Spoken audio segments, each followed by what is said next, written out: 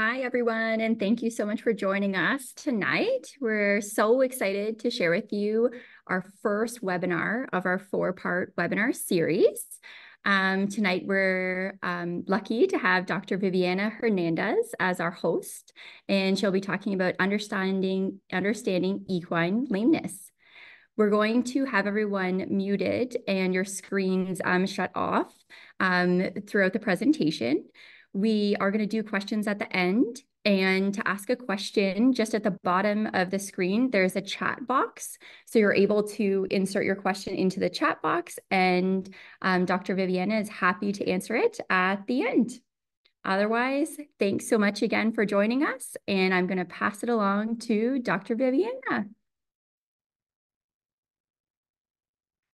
Thank you, Karen. So, well, welcome everyone. This is the first series of a this is the first talk of a series of talks that we're going to be doing here at McKee-Pownall. Um, so my topic today is just a brief understanding of lameness. I know it's a topic that can be uh, confusing for owners, especially when you're not so used to see a horse move. And sometimes I, I had the situation where I had clients looking at me and saying like, how are you even able to see it? Well, it's just about getting used. So the plan today is to give you a base so you can actually see what we're looking when we're doing a lameness exam, okay? Um, if someone has their microphone on, I can ask you, please, can you turn it off? It's It just makes a lot of noise on the background, okay? So let's start with this. Chaos for locals and truckers alike. Perfect. Okay, so well, let's talk a little bit about the anatomy. So how many bones do you think a horses have? Like a big number, like between how many? 100, 200, 300? Well, the reality is that the horse has around 205 bones. That means that there's a lot. And all those bones can have pain, all those bones have issues. And this is it. This is just the base of how the horse stands. This is the, just the base, the foundation of our horse, the bones. Um, we have long bones, we have short bones, we have ones that actually carry the weight, the only the other ones that just give support. We have um, the ones that protect, uh, like the rib cage, and all of these bones are important. Like we can have some sort of lameness caused by just some um, costal bone, sorry, costal pain, or uh, just like the limb part area. So we have the bones. Now we go to the soft part of the body. How many muscles a horses have? They have around 700. And I'm not talking about the ligament and the tendons. Those ones are like the strings that connect everything and just make the movement goes, just like the puppets. This is just a, an example of one of the like the common muscles that we have. We have the, the gluteal, we have the, uh, the neck muscles, we have um, like, there's a lot of them. Like I can spend hours and hours and hours of uh, just explaining to you the different muscles and the different work they do. But I just want you to understand a horse is not just the horse. We have bones, we have ligaments, we have tendons, we have muscles. All of them work in a specific way. And if we have one that has something, all of the other structures in the horse's body are going to start working just to release the pain or just to protect that area and make the horse be comfortable and be able to move around. We need to remember horses in nature, they are the food. They are not the ones that eat the other animals. They are the ones that are eaten. So they need to be able to escape, to be moving all the time. In nature, a horse spends 18 hours of the 24 hours a day just eating, and they only rest between, like resting, when I say resting, like lay down to sleep, between 30 minutes to an hour and they don't do it like in a constant like in just one time they do it like in small lapse of time so because remember if they stay quiet for a long time that means that they're easy food So for understanding lameness, we need to understand the biomechanic of the movement uh, of the horse. So what are the gaits the horses have? We have the walk. This one is a gait that it's compounded by four tempies. Um, we start with the right hind. This one, it's very easy to understand. We start with the right hand, then we go to the right front, left hind, right front. It's four tempies, tack, tack, tack, tack, tack, tack. This one doesn't have a moment of suspension as the other gaits. Then we have the trot.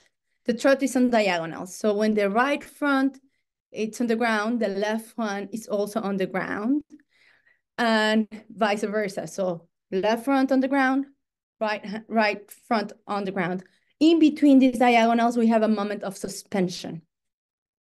Then the canter to the right, it starts with the left hind, then we have a diagonal left front, right hind, and then the last one is going to be the right front. Then after this, we're going to have a moment of suspension, just as we're looking at the image on the corner. The left canter is exactly the same, but in the different direction. So we're going to start with the right hind, then we're going to have the right diagonal, right front, left hind, and then we're going to finish with the left front with a moment of suspension in between the left front and the left and the right hind. There you go. Then we have the race canter. This one, instead of being in three tempi, it's going to be in four. Um, so instead of having this diagonal as we had on the canter, we're going to have, for example, on the right lead gallop, we're going to have left hind, right hind, left front, right front, and the moment of suspension. When they, this is the one that the racing horses have, or when when your horse is getting loose and you're trying to catch it and it's just running away, this is the kind of canter and mechanic that the gait has. The, the gait, when, when the horse is moving, when the horse is putting weight on the limb, we have three phases. Let's talk about the trot that is easier for us to see the lameness on. We're going to have the first impact, that is when the hoof touches the ground. Then we're going to have the second impact, that is when like it's sliding and stopping. Like that is when it's actually putting the weight on the limb. Then we, we have the mid stance, that is when the horse is pushing. And then we have the rollover, that is when it's about to start everything again. We have a cranial phase, we have a stance phase, and we have a caudal phase of the gait. All of these things that I'm talking about, those are the kind of things that we look when we're looking for a lameness. You're going to have lameness that a horse is not stretching the limb as much, or the, the amount of time that it spends on the ground is not as the same as the one that it has on the other limb, or or it's not putting the weight evenly on that hoof, or when it's going on the back part of the of the movement, it doesn't go as a stretch as as the other one does. Uh, hopefully we can see this video. Let me just go out of the full screen. So this is a video from an app that is called Lameness Locator. You're going to see that the horse's limb has um, some dots.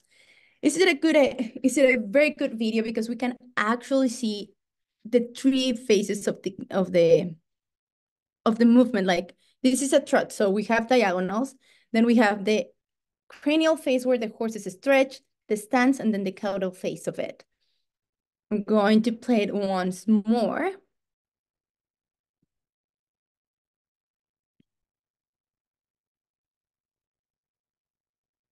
Okay, perfect.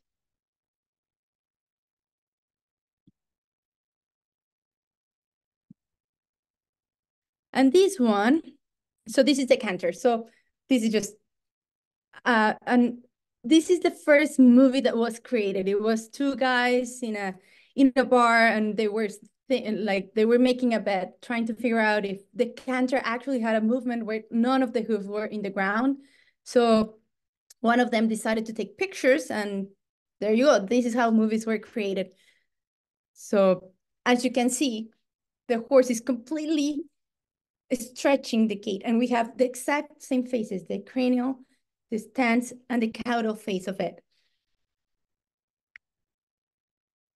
So I'm going to give you a very, very quick review of the of the lower limb anatomy, just because this is where we mostly see lameness on the real on the daily basis.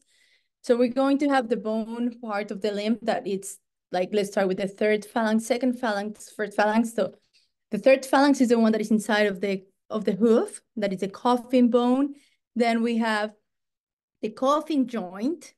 Then we have the second phalanx, and that is the um. Then we have the pastern and the pastern joint, and then we have the actual fetlock that is the the uh, the first phalanx and the metacarpal in this case because it's the front limb or the metatarsal if it's the hind limb.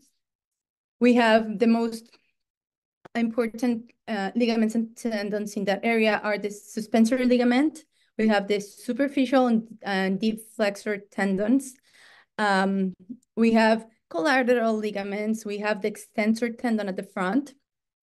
And again, I can start, I can speak a lot about the anatomy, but I just want you to remember that if we don't know where we are, we don't know exactly what we're dealing with. So what does a lameness mean? Uh, UC Davis said it's a symptom that something within the body, within the limb or the body, hurts enough that the horse alters its gait to control the amount of load that affected limb has to bear. This alteration in load usually creates an asymmetric to the asymmetry to the gait. Not all the horses are going to show the lameness the same way. We're going to have horses that it's just a tiny, tiny cut and they're going to be dead lame. And then we have we have these horses that can have awful things going on and they still walk relatively sound. Um, what are the most commonly affected? Well, we need to understand that the horse's body the front part of the body carries around 60 to 70% of the weight.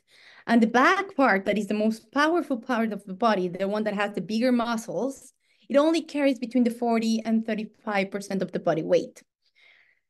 The joints that we most commonly see that had issues are pastern, hoof, fetlocks, knees, SI, stifles, and hocks.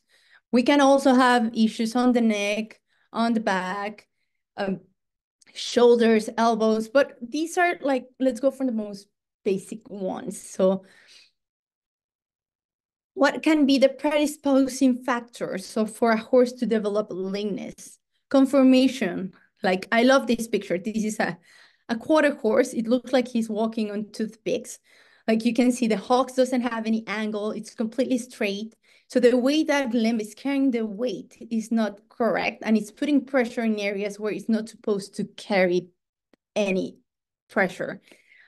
Weight, it's it's easier for a horse that has like a body condition of eight to present weight, um, lameness issues, just because remember the one that is carrying the weight is the hoof. So just imagine that you're putting a lot of pressure in a tiny, tiny thing and well at at some point that that is going to become painful and if we don't assess it it's going to turn around to be more like body soreness hoof condition no hoof no horse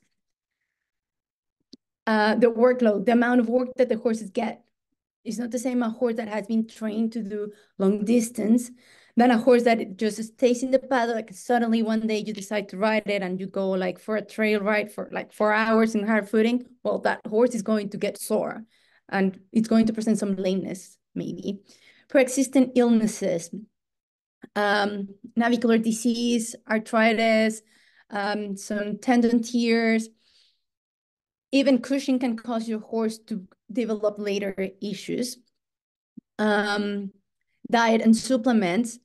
Here in Canada, we have um, a deficiency on selenium in the grasses that can cause us something that is called white muscle disease or like, know, weakness. And the soft tissues are not going to be as strong or they're not going to be as comfortable as if it was like in a normal environment, sorry, in an environment when we didn't have the um, the selenium deficiency.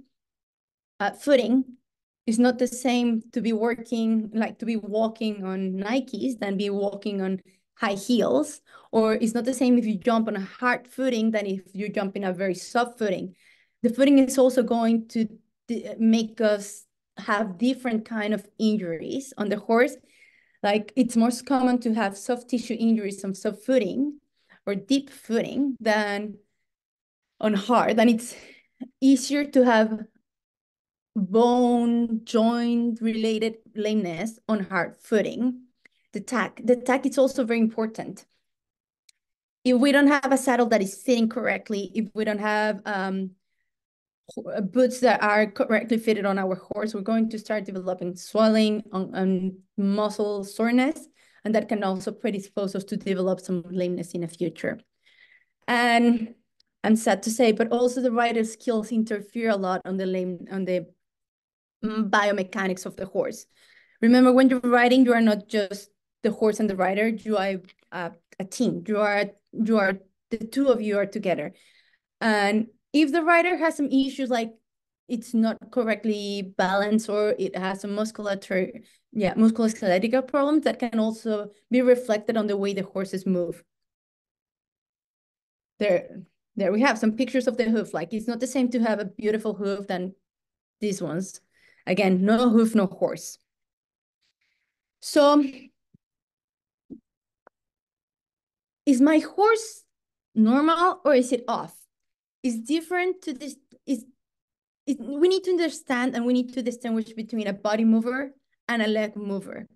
What is a body mover? A body mover it's this horse that is completely supple, relaxed, elastic. You can see the muscles moving freely all around. There's some swing, there's some floaty gaits.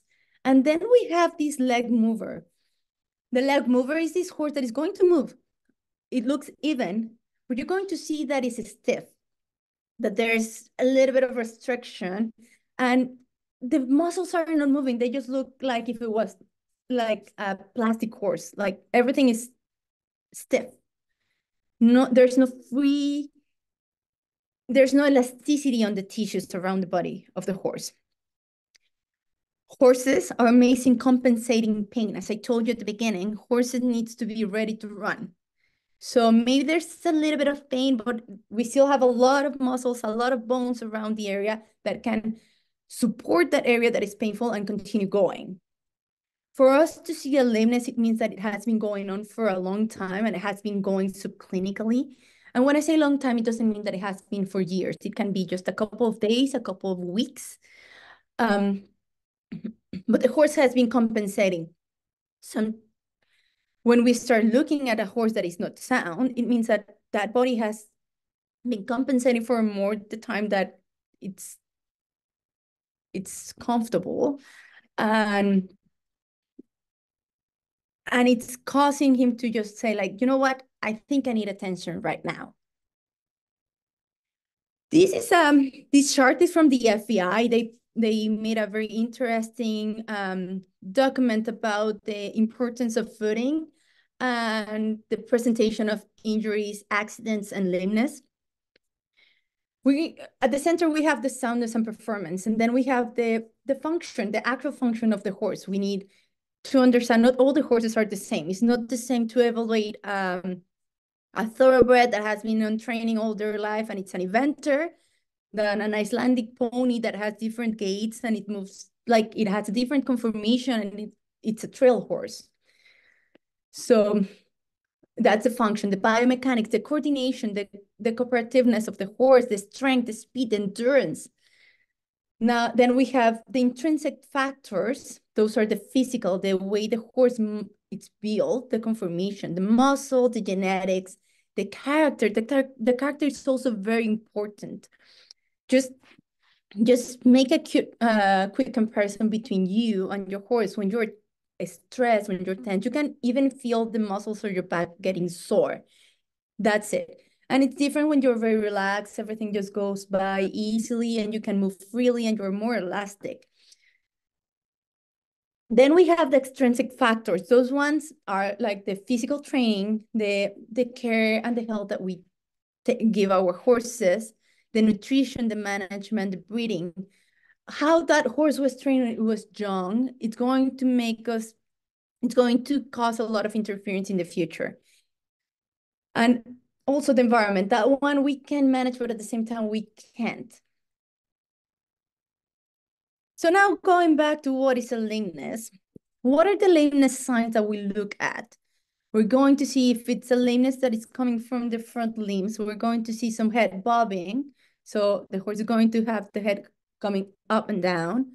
If it's coming from the hind limb, we're going to have a dropped hip. Um, we can have increased digital pulses. Um, if it's obviously a non-weight bearing, we're going to see it.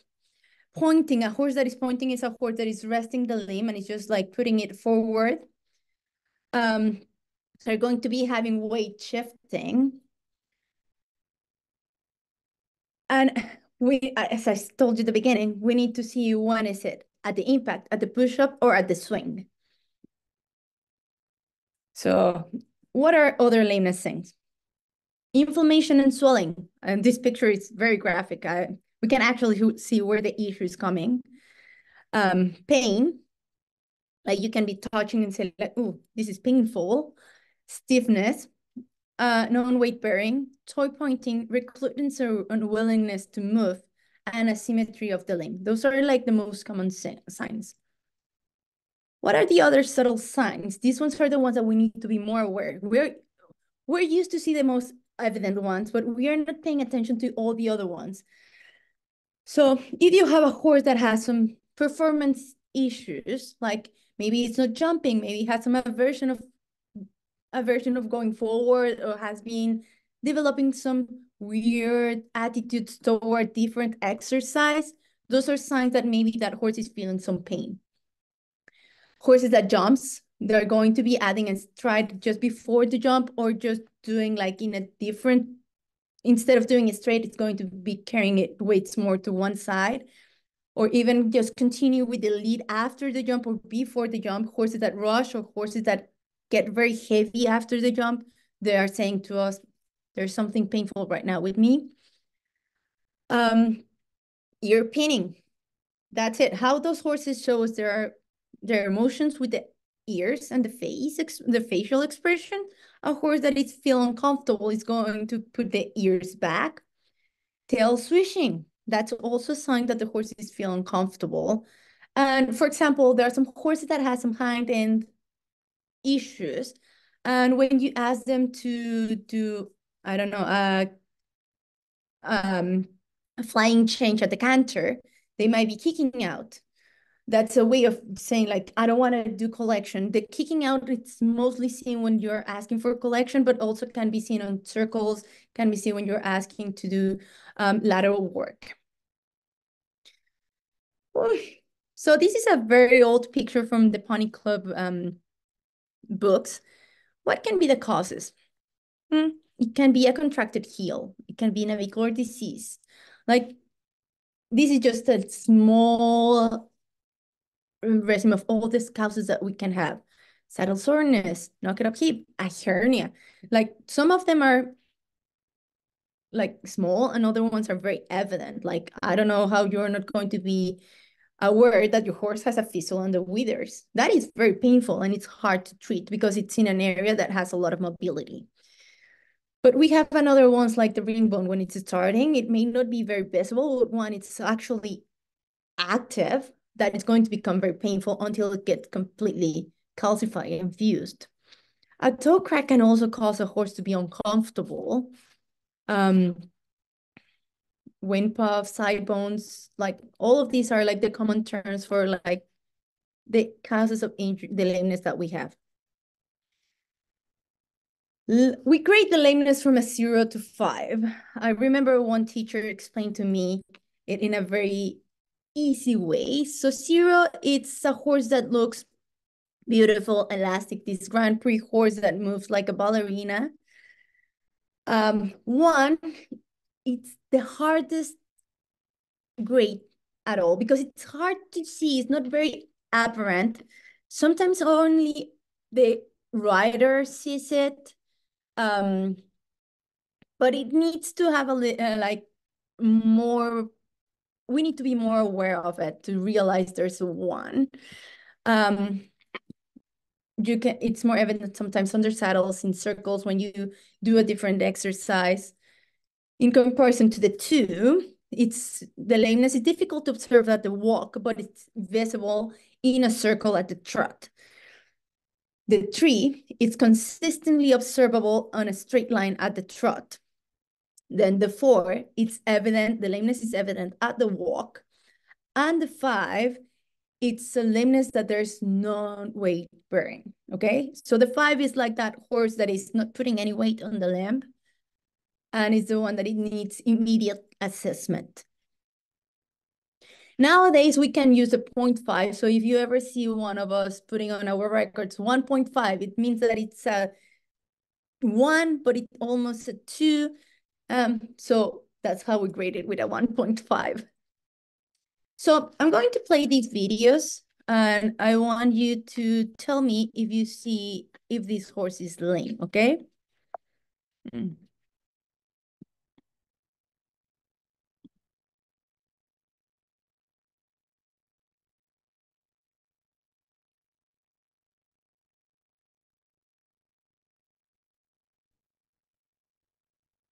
Okay, this is an exam on a straight line on hard footing. And what we're looking at, it's a horse that is evidently doing a head bobbing. So when we, you see, whenever the horse is putting weight on the right limb, the, ha the head gets higher. See, up, up, up. There you go. So this one, it's a three out of five. Okay, it's evident that the trot on a straight line it's evident at all times. It's you can see with the lines on the back how the head gets higher every time he puts weight on the right limb, on the right front. Yep, up, up, up, up. Okay. Now it's on the lunge line.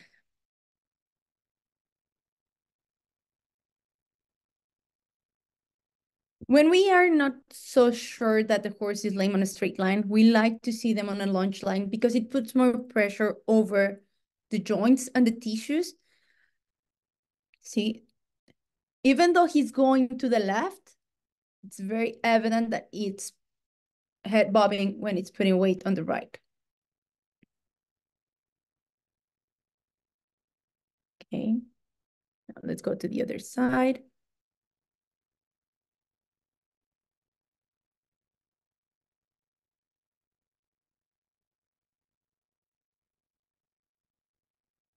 Okay.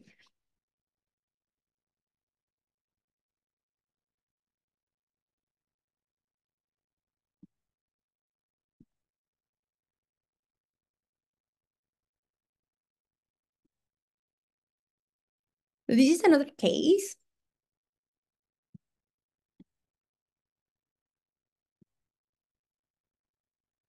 Do you think this horse looks lame? Again, we like to do the, ex the, the lameness exam on a hard footing. Um, you can also do it on soft footing. Like if you want to do a full lameness assessment, you need to see the horse in different kind of footing, like soft and hard ground. So look at the faces of the stride on this horse. It's covering ground, it's putting pressure over the limbs. It's it just looks very supple. This horse is sound.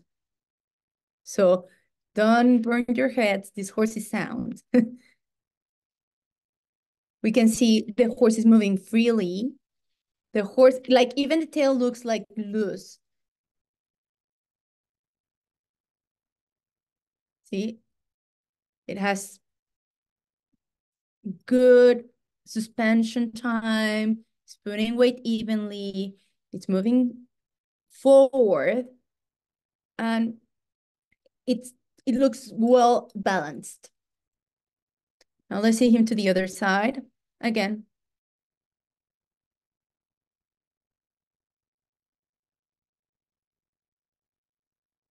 Okay.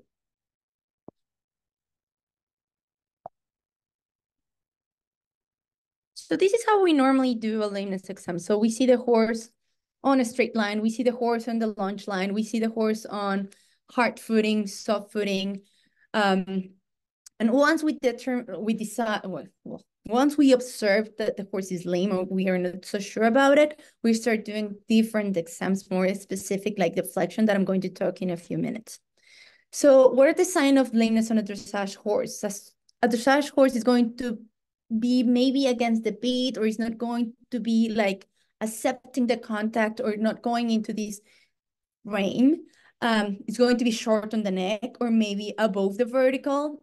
Um, it's not going to be even. A dressage horse is very evident when it's not even. It's going to be maybe more into the left side or the right side. Um, if we're talking about doing circles, you're going to see a horse that is not completely bending into the circle. It's more like drifting the hind limbs or just avoiding the flexion.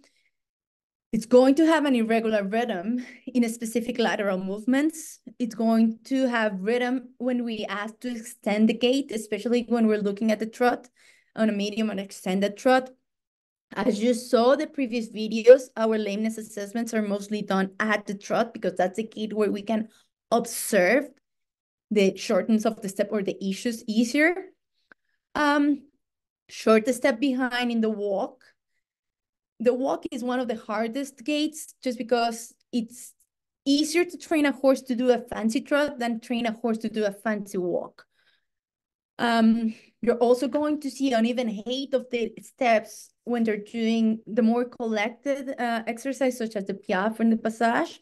The inability of collecting, as I told you before, stiffness of the back, or not putting the hind end underneath, like as asked when you're asking pirouettes. Um, horses that had some hind limb lameness, as I told you before, is going to be behind when you're asking for flying changes or difficulties on doing it on the tempi. And again, there's not going to be that freedom and elasticity that we look that we're looking for in the dressage horse. In the jumper, we're going to see that it's maybe not pushing evenly with both hind limbs. Um, or maybe they're leaving one of the hind limbs lower than the other one. It's going to be, there's going to be a reluctance to turn. Uh, it's going to refuse to land in one limb specific or in both. Tripping after the jump, that's also one of the signs. Uh, difficulty in making in this, the distances in a combination. I had some clients telling me, so my course has been having issues covering the two strides in between the combination. Now he's doing three that for me means that the horse is not willing to stretch or just trying to protect themselves and doing a little bit shorten and avoiding doing an over um like over exercising to jump over the obstacle. Altering the stride length that is exactly the same thing like just having issues getting into the combinations. Um a horse that is avoiding to get deep into the fence or a horse that has a tendency to have the rails knocked. That's a horse that has, again, that is showing some signs of pain that are very subtle. Um, then we have the other horses, especially with the hunters that you ask them to fall into the right canter or the left canter, horses that land correctly with the front limbs, but the hind limbs are like, they're cross cantering. Those horses are also telling me I'm avoiding using these hind limb because it's painful rushing into fences. That's also another sign. And the most obvious one is when a horse start, start stopping or refusing. So now what we do, my horse is lame. What are the next steps? The first of all, do not panic. What you can do before we are there, keep calm. Depending of the injury, the location, the severity, and the cuteness is what you're going to do. Don't put yourself in dangerous situations. Like if the horse is very lame, it's very painful, it's trashing the stall, don't get close to it. Keep yourself safe. I feel like the like the movie they put on the airplane saying like put your mask first and then put it on the other person that you're trying to help. It's exactly the same. You're going to help your horse for that. You need to be safe. You need to be ready to do it. Don't risk and don't get injured. What you can do, you can do icing and cold housing. Icing the first 48 hours, it's very good to reduce the swelling. After that, it doesn't do a lot. Stable grafts, that means stabilization of the wound. If you see that the bone is coming out, call the vet. but if you see that it looks a little bit wobbly, just put a, uh, a grab around and just keep it as stable as possible. Call for advice and we can also do some topical preparations like even the Voltaren that is a diclofenac cream or uh, Furacin with DMSO that is a sweat um, preparation that we use just to reduce the swelling. Again, this is before you have the horse assessed. A lameness exam is going to be performed by the vet. It can, we have two phases of our lameness exam. It's the standing phase where we are the cross ties and we're just poking, flexing, twist, twisting, touching, looking all around the horse's body. Uh, we that's where we use the hoof testers. That's where we touch the tendon, just like as Dr. Sam Molson is doing there. You see, with one hand, she's grabbing the, the, the lower part of the limb, the pastern, and with the right hand, she's putting pressure on what she's doing. You're just feeling how the deep, the superficial, the, the, deep and the superficial tendon feels and how the suspensory is. We can also feel the small splint bones on the side. We see if there's any swelling, if it's there's any reaction to palpation. Then after we do that, and with the information we gather at this point, then we go to the dynamic exam. That is the one that I showed the videos. That is the horse in a straight line, in, in a circle, a lunge line, in hard footing, soft footing. Then we start doing the extra diagnosis, flexing. Um, we How we flex is we start with the low, lowest part of the limb, and then we start going higher. Uh, each region of the body has a different timing and a different way of flexing it. Then after that, once we decide maybe, okay, he was very positive to the flexion of the fetlock, but I'm not sure if it's a little bit lower like the pastern area, then we start doing the freezing. We start using freezing med um, medication just uh, such as carbocaine, lidocaine, to numb that area and just to distinguish exactly where the pain is coming from. After that, we start doing the imaging that it's ultrasound or x-ray, depending on what we're looking at is what we're going to recommend. Then once we have a diagnosis, we start with the treatment and the prognosis and the rehab. So here we have the first picture where there's how we use the hoof tester. The hoof testers are good to put pressure over the shoe, the nails, the wall, every structure around the hoof. It's also good to di distinguish between um, when you have when you have a horse that has contracted heels and you want to know if there's some navicular pain on it, or when you have a horse that has uh, laminitis, it's going to be very sensitive at toe. Um, there there are a few situations that can cause you to have a five out of five lameness. One of it is going to be like the most evident is going to be a fracture, a complete avulsion of one tendon, or rupture of any soft tissue. But also a hoof abscess is going to cause us a five out of five. So that's when we use the hoof tester. Um, on the upper right, you're going to see that's a flexion. That's a full hind limb flexion. They're flexing the fetlock, the hock, and they're also lifting the limb close to the belly, and that is putting pressure over the hip area, SI. And at the bottom, obviously, there's a vet looking at a horse from behind.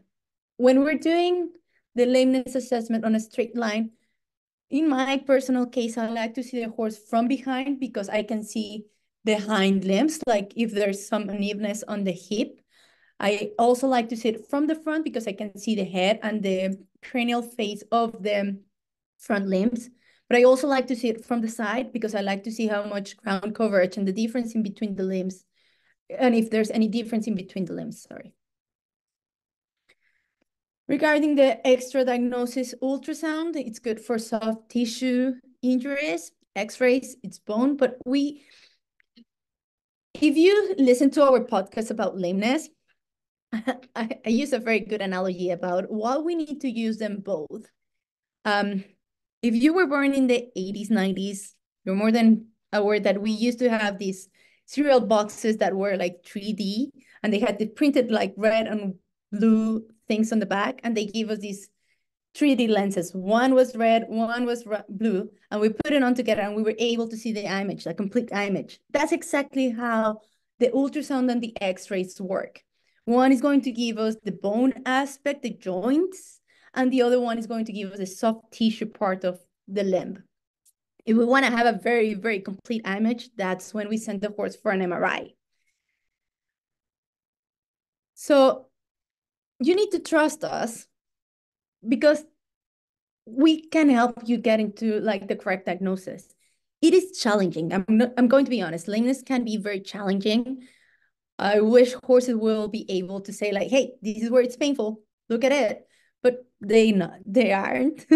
they can't talk. So we need to use all of our expertise and senses to actually distinguish a lameness and correctly diagnose it.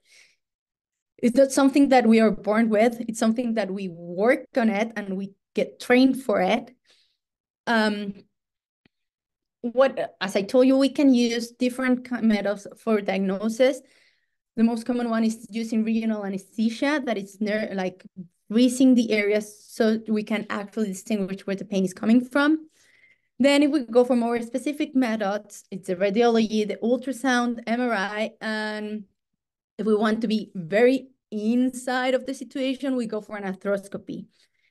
This is more about, this other diagnostics more about confirmation of the lameness and giving us a prognosis. So nowadays, we are very lucky to have technology with us. This is uh, These are screenshots and this is a video from an app that is called Sleip. Um, again, it's just another tool that we can use to, to see lamenesses. Normally you take a video and it tells us, so your horse is moving like this. You can see there's a curve over there. Uh, sorry. This The curve at the top, this one, should be like the one at the back at the bottom. You see, this is the hind limbs. This is the front limbs. You can see that this horse is lame on the right front because we don't have the same power, like same impact when the horse limb is touching the ground. Like it's shorter than in comparison to the left front.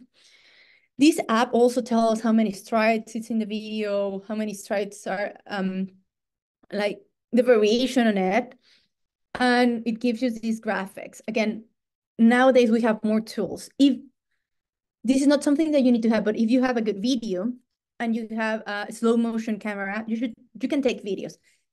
If you're sending that video to your vet, please, please, please take the whole horse, head, bum, limbs, everything. Because if you send us just the foot, we're not going to be able to see anything. Just send the entire horse, as I told you, we need to see the overall to distinguish where the pain is coming from. So how are we going to prevent and how are we going to treat the lameness? The main goal is to reduce inflammation and the pain. Once we figure out where the pain is coming from, we need to reduce and treat. We can use systemic medication. It can be orally, intramuscular, or IV, or it can be intraarticular. The aggressive how aggressive the treatment is depends on how chronic or how many changes we're looking at. The type of medication that we're going to use and the treatment to be used, it's also, it also depends on what we're dealing with and the acuteness of the situation.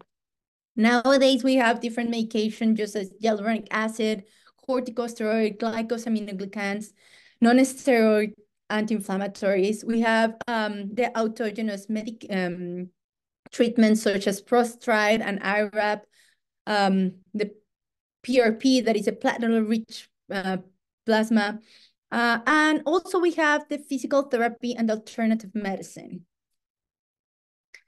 Physical therapy or the complementary, complementary alternative medicine, it can be just rest and control exercise, that means physiotherapy, cold therapy, the ceramic um, um, boots, just like the back on track, compression, Caro, um, the kinesiotaping, massage, acupuncture, shockwave, um, the magnetic. Um, there's another, I, I, just can't remember the name of the brand, but there's another brand that has blankets with magnets.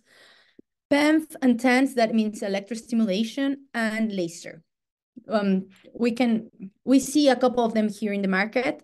Uh, the Bemer, it's also like one of the most famous right now. But all of these, uh, it's going to give the horse more comfort. So you are going to maybe start with doing joint injections and controlled exercise and all these alternative complementary therapies are going to give the horse more um, more comfort and it's going to make the horse heal faster, get back into work in a shorter period than if we just keep them on a stall rest. And well, that's everything right now. Um, I like to finish with this picture because this is how we deal with the lameness. Everyone is going to be looking in different locations. Like it's, as I told you, it is challenging. It's not very straightforward, but we need to remember that our main goal is to keep our horses comfortable and happy. So please pay attention to what your vet says, listen and be comfortable in talking with us. Tell us what you feel, what the horses look at. And if there's something that you don't understand, just ask us, okay? Don't go for Dr. Google. Please don't do it. And, and yeah, I don't know if you have any questions. Um, uh, can you tell us? Okay, perfect. So what lameness exam? Those three are non-sterile medication that hides the pain. Uh, so if your horse is currently getting, I don't know, uh, Previcox, uh, the recommendation is to keep the horse without the medication for just uh, at least 24 to 48 hours so we don't hide anything. And we are like, we, as I told you, challenging. And if you hide the pain, it's going to be harder for us to actually diagnose what is going on. So if you're having a lameness assessment, have your horse without any non-steroidal or steroidal anti-inflammatory.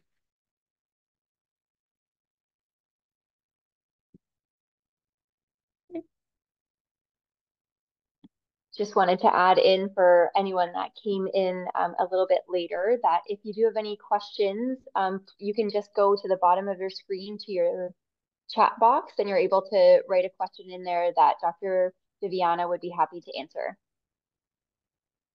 Perfect. Margaret is asking, my horse is diagnosed with ring bone and is on Praviquine. Is there something else I should be doing? Well, um, it depends of how progressed that ring bone is.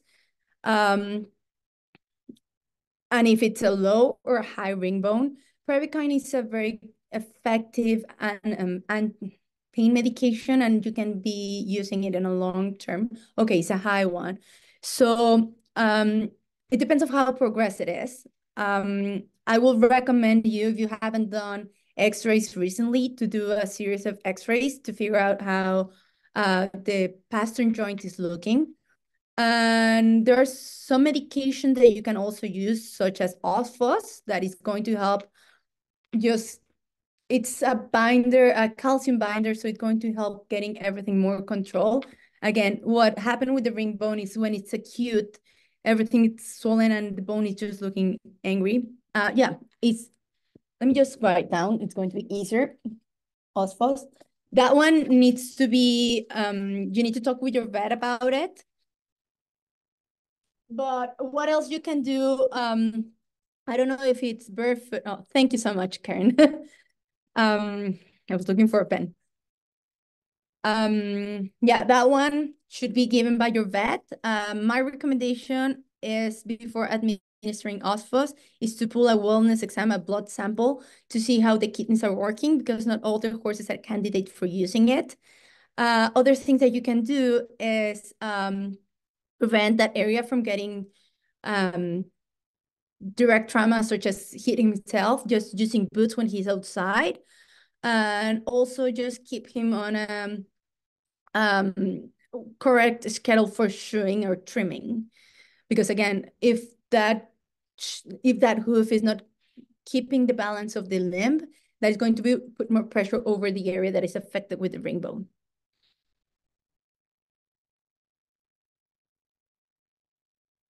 Okay, so Julie, I have been working to grow out a crack, a toe crack for six months. Anything to watch for?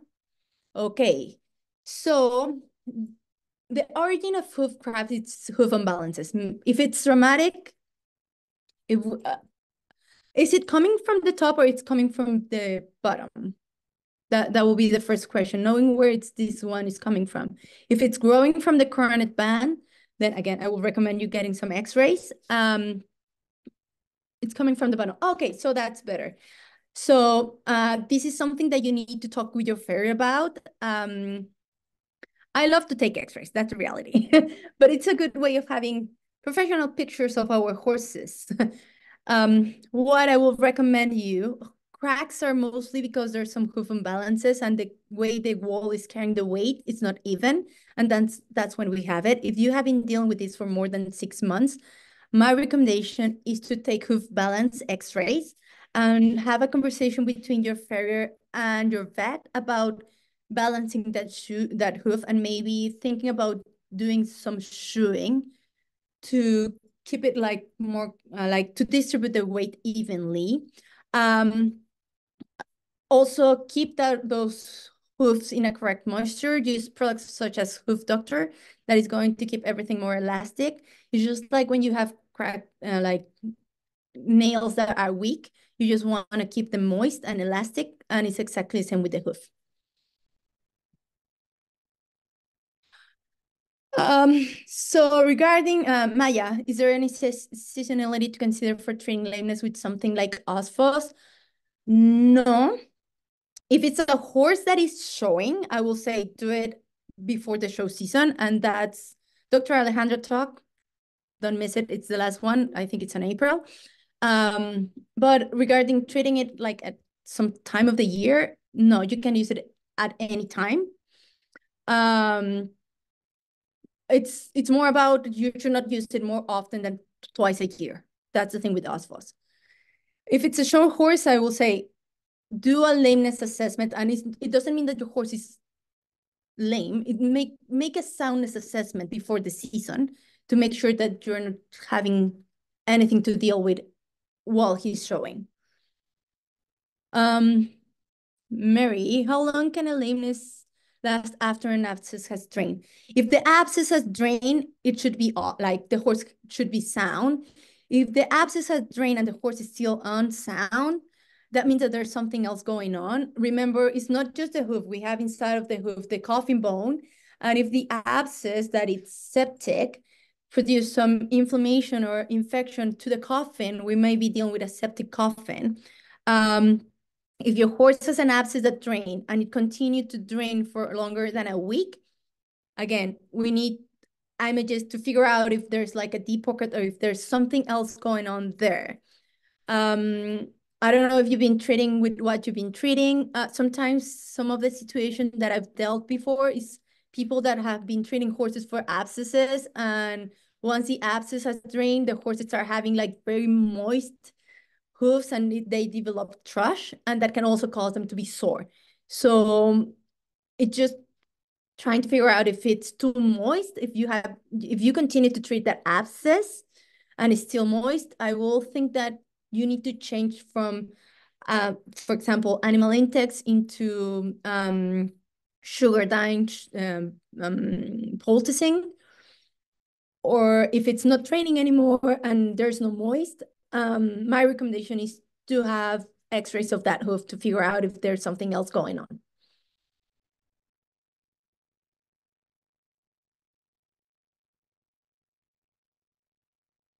Yeah, well, Adequan, perfect. Um, so before show season, if you go for a full series of Adequan, it's going to keep your horse comfortable and it's going to let your horse perform in the best way possible.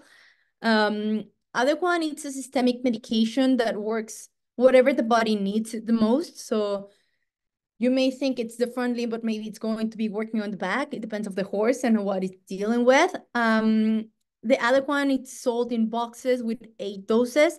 Everyone, uh, every dose is given every four days.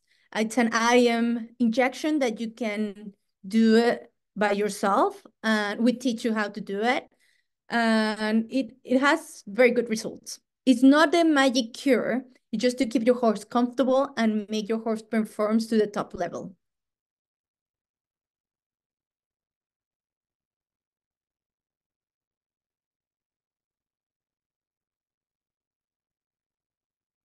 You're welcome, Blake.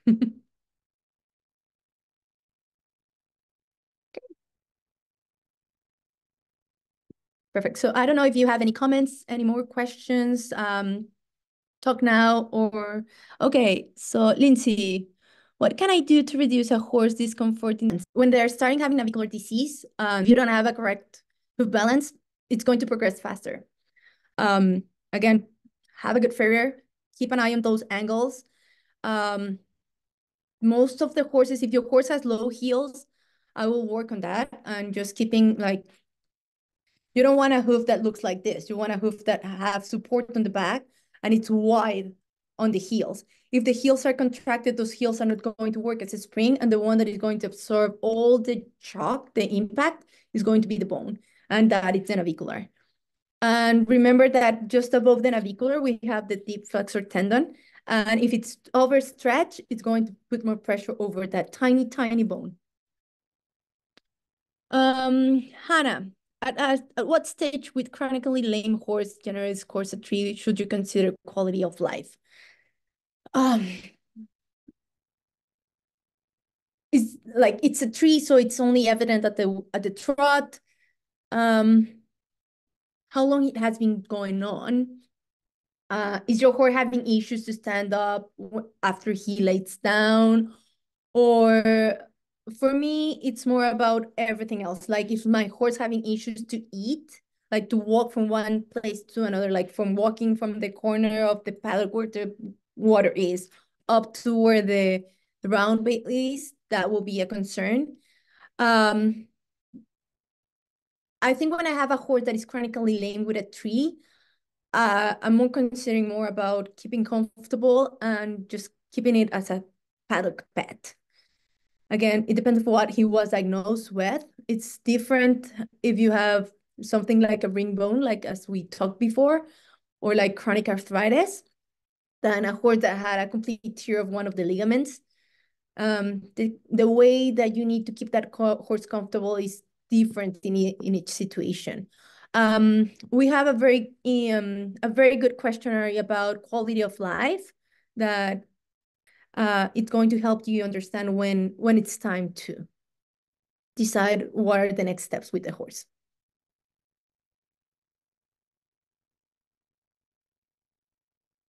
Yeah, sorry, Hannah. It's it's a complicated situation, and it's it depends. Each case is it's a specific. Um, I would recommend. Have you tried doing uh Previcox or some sort of maintenance to keep him comfortable. Again, I don't think that's a horse that is going to be a sport horse anymore. It's more about keeping him happy on a paddock and able to move around.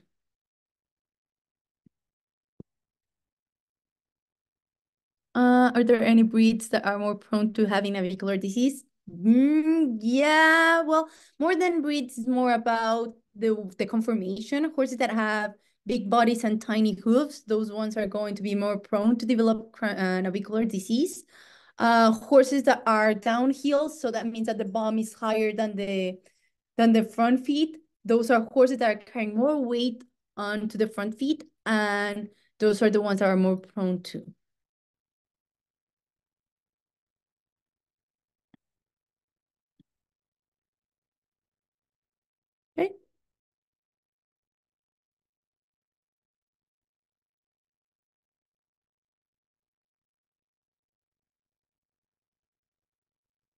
Welcome. And if you, I don't know, if after this talk you have any doubts, please send us a message, send us an email, and we will try to answer it to you.